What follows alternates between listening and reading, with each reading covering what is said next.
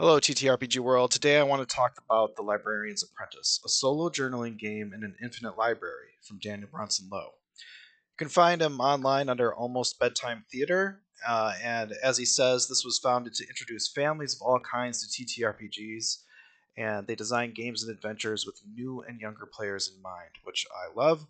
All about expanding the hobby here at Tabletop Bookshelf and this gives me a good chance to talk about Tabletop Bookshelf. So, what are we? We are an independent online bookstore uh, focused on expanding the hobby.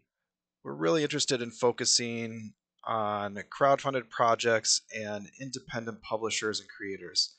And so, we're really happy to bring uh, Daniel's work to the bookshelf, especially because this is a, a solo game, and we're looking to expand our collection of solo games. We have a couple pieces from Pandion games available, but this is a this is another great addition. And so I'm gonna unbox this package, but I wanted to document this and share this with everybody because this is just a lovely, uh, lovely package. This comes in, um, beautiful card stock here and uh, gives you a description on the back. Infinite, ever shifting, and sometimes dangerous, the library exists in a space between worlds and times. Among the many who call it home are the librarians, and only those who tro- truly understand it may join their winks, ranks. You seek to do so. The path of a librarian's apprentice is a long one. Your current task is designed to test your skills at traversing the library and locating documents. Find the information requested by your librarian before the day is out and you will have completed one more step on your journey. Good luck. So, setting up the adventure there, uh, and a nice hook to draw you in. So let's let's do it. Let's open it up. All right. So look at this. What a great unfolding, right?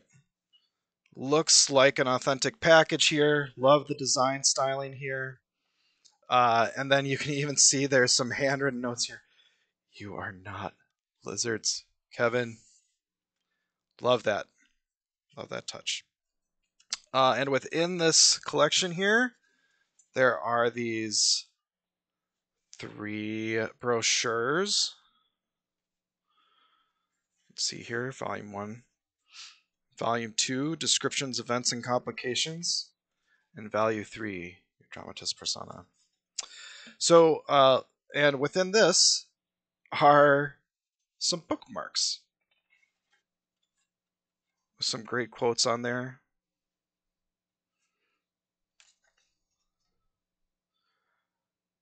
And you know, this really is a you can tell that this is a many ways a love letter to libraries and uh, really about reading and the joy and discovery that you get through it.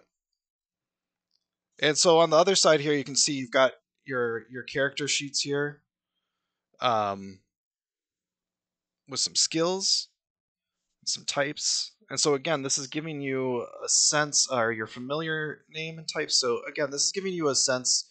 Character sheets are always a great way to give you an insight into what the game is about.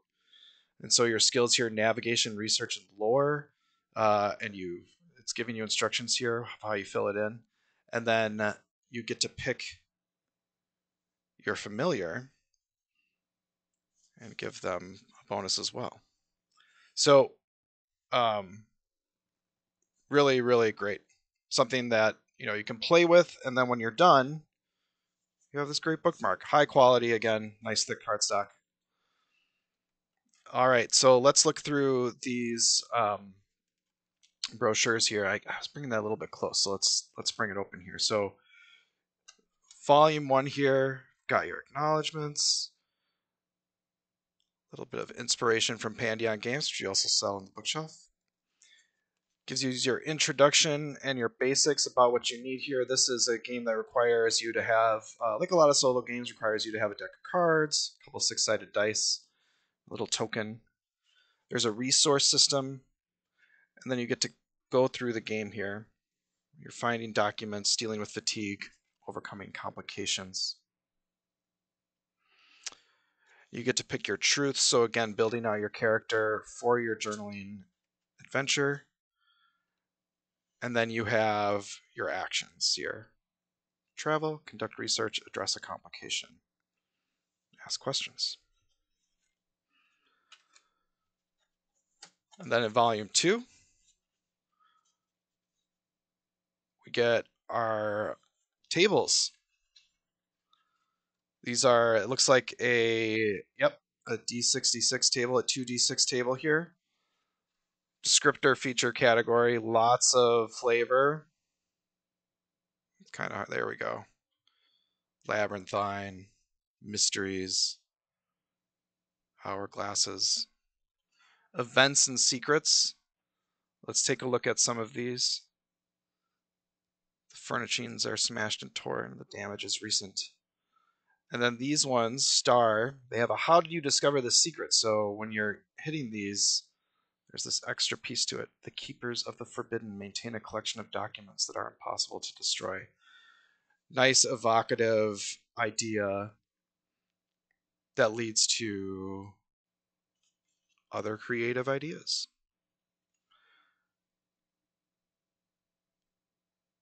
Different document formats, another D66 system here.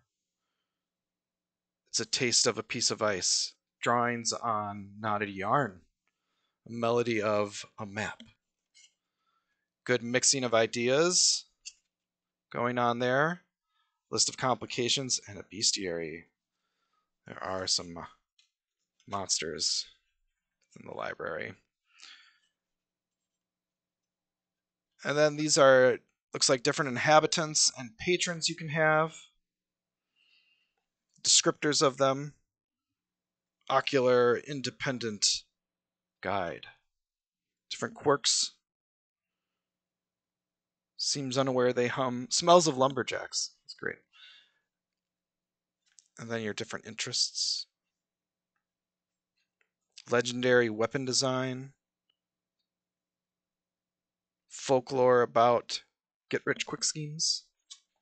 So again, you know, smashing together these different ideas and seeing what emerges. I think that is really the core of these um, journaling games, creative writing games, where you are given these combination of ideas and bringing them into a coherent narrative and a coherent character, you know, character evolution and documenting that. And I think this allows you to travel through that in a really contained way. And also, get your library card here to the Great Library. So this uh, this is another nice little touch here. Um, when someone completes this, I, you are hereby deemed an apprentice librarian of the Great Library. So another nice little token to remember the experience. And then let's look on the inside here.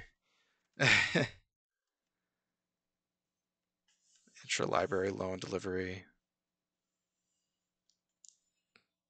There's little ideas here. Some normal names. Look at this one though. It's like bits and bytes. So again, opening up that this is this is something beyond normal. But also again looking at this these design touches here, like these watermark stains. Looks like this is a like a coffee cup stain here. Again, it looks looks real, but so just a, a great self-contained little package. I would love to give this to someone as a gift, to receive this as a gift. This would be a great way to um, uh, spend an afternoon, run through this, do it with someone else, do it together do it with your kids, and um, and you get it all in this great little package that you can just fold right back up. So there it is, The Librarian's Apprentice, solo journaling game in Infinite Library. Um, I, I, may have an opportunity later to have a little interview with Daniel, so I'm uh, excited about that. And um, you know, stay tuned. Hopefully, we'll be digging more into the solo and uh, GM-less genre as we expand the bookshelf. Uh, we do have copies available of this. I'll put a link in the comments below. Of course, if you like what I'm doing here, please like and subscribe, and I'll keep doing them. All right, thanks everyone. and a happy gaming.